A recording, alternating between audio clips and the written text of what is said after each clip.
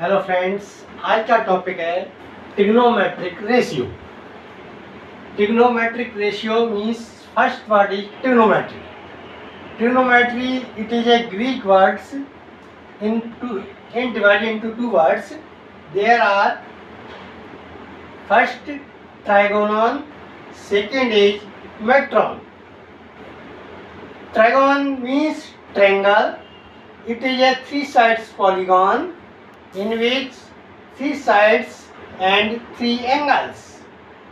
Metron means measure, measure means measurement. There are six uh, trigonometric ratio. First is sine, its abbreviation is SIN. Cosine, its abbreviation is cos. Tangents, its abbreviation is tan. Cotangents, its abbreviation is cot. Secants, its abbreviation is sec and last is cosecant its abbreviation is cosec अब हम इन short form का इस chapters में short form का use करें in this chapter consider a right angle triangle in which consider a right angle triangle A B C in which angle B is A degrees in this and two other angle is acute angles right so we know that the side opposite to any angle any acute angle is called perpendicular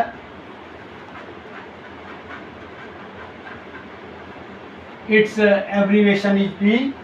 the side opposite to 90 degree is called uh, hypotenuse its abbreviation is H and remaining sites is base its abbreviation is B always remember that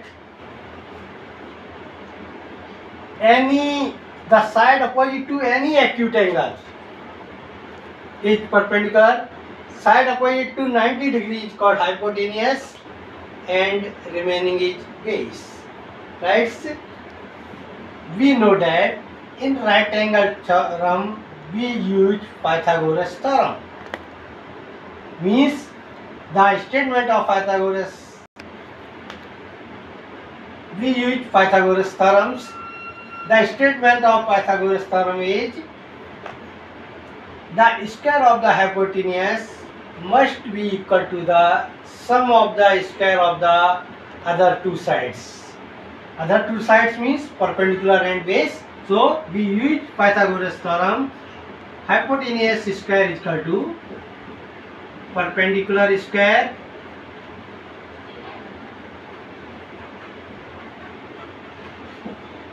plus base square.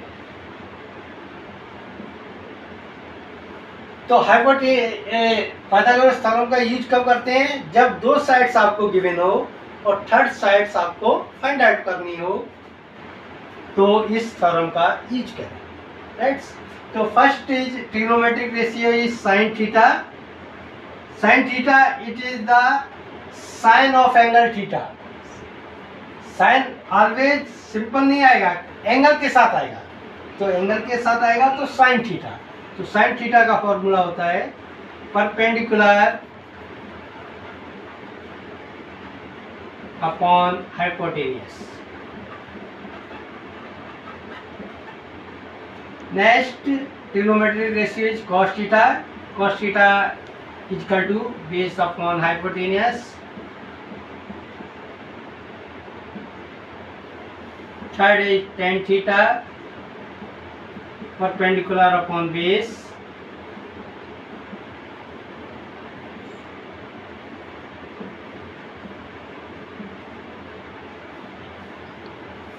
Another is cosec theta. cosine theta it is the reciprocal of sine theta so opposite of sine theta is means hypotenuse upon perpendicular next is sec theta it is the reciprocal of cos theta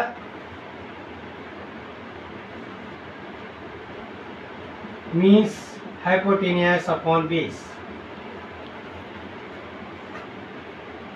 on base last is cot theta it is the reciprocal of tan theta means base upon perpendicular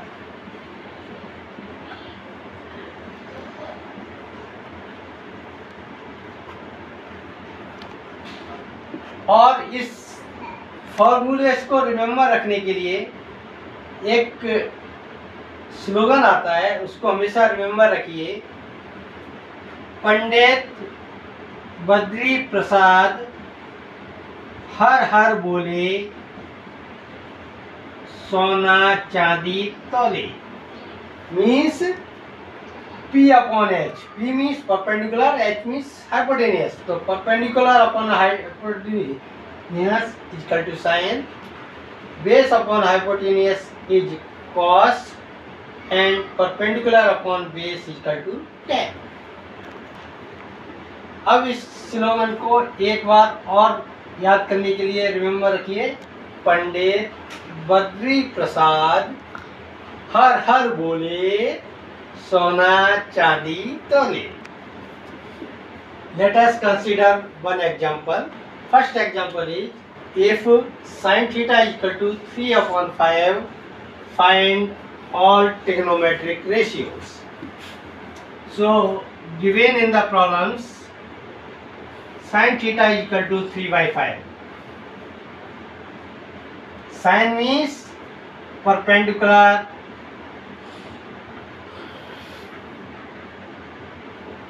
short form is p upon hypotenuse h means perpendicular is given is 3 the value of hypotenuse is 5 let us consider a right angle triangle in which theta is acute angle right b is 90 degrees so the side opposite to any angle is called perpendicular side opposite to 90 degree is called hypotenuse and remaining is base so the value of perpendicular is 3 The value of 514 is 5 in the given problems. So first find the value of B, base, by using Pythagoras theorems. Means the h square is equal to using Pythagoras theorem. Hypotenuse is equal to square is equal to perpendicular square plus base square. Put the value of hypotenuse 5 square is equal to perpendicular means 3 square plus base square. 5 square means 25, 3 square means 9 plus base square. Base square is equal to 25 minus 9 means 16. Base is equal to root of 16 or uh, root of 16 is 4. The value of base is 4. Then find the remaining trigonometric ratio. so First is cos theta. Cos theta formula is cos theta base upon hypotenuse. base ka value is 4 तो four by five next is tan theta tan theta means perpendicular upon base perpendicular means 3 base upon 4 3 by 4 next cot theta cot theta is base upon perpendicular 4 by 3 cosec theta cosec theta formula is hypotenuse upon perpendicular means 5 upon 3 sec theta formula is sec theta hypotenuse upon base 5 by 4 now start the another example example 2 if cot theta is equal to 1 by 2 find all trigonometric ratio so we given in the problems cot theta is equal to 1 by 2 cot means base upon perpendicular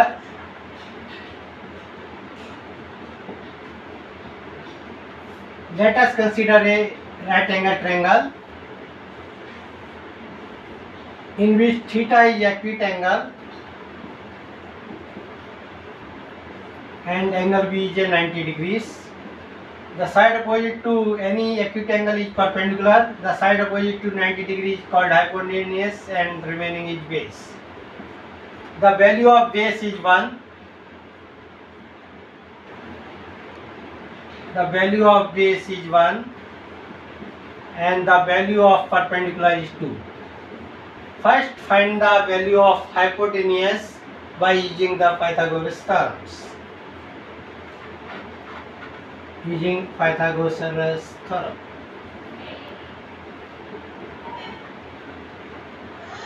The statement of Pythagoras theorem is the square of the hypotenuse the statement of Pythagoras theorem is the square of the hypotenuse must be equal to the sum of the square of the other two sides. Put the value of perpendicular and base p is equal to 2, 2 square plus 1 square, h square is equal to 4 plus 1, h square is equal to 5, the value of hypotenuse is root 5. The value of hypotenuse is root 5, right? Then start the other trigonometric ratios. So first find sine theta. The formula is sine theta is perpendicular upon hypotenuse. The value of perpendicular is 2 upon hypotenuse is root 5. Right? Next is cos theta. Base upon hypotenuse. Value of base is 1 by root 5. The value of hypotenuse is root 5. Next is tan theta. The formula of tan theta, perpendicular upon base. Value of perpendicular is 2, value of base is 1.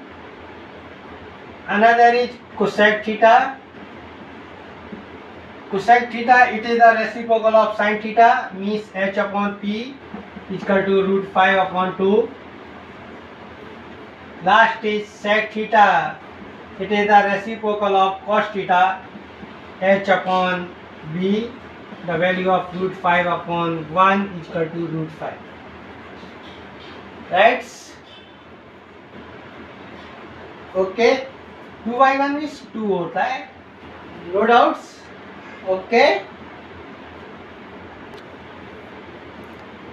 take another example in right triangle P Q R angle Q is 90 degree and sine P is 8 by sixteen seventeen sorry find the value of tan P minus cot R consider a right triangle P Q R Q in ninety degree and given in the problem sine P is equal to eight by sixty seventeen right तो sine means perpendicular upon hypotenuse. This is the acute angle is P or this is the acute angle is R. Right? In that given in the problem sine P. In this P angle, acute angle P, the value of perpendicular is QR, the value of perpendicular is 8 and value of hypotenuse is 17. First find the value of PTU means base in that case. Right? By using Pythagoras theorem,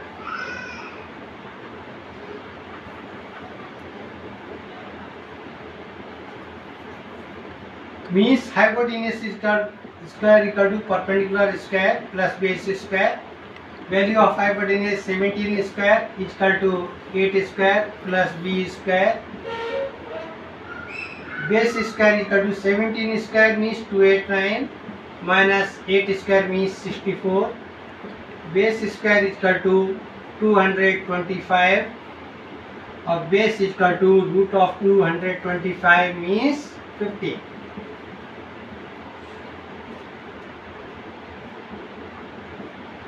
First find the value of tan P.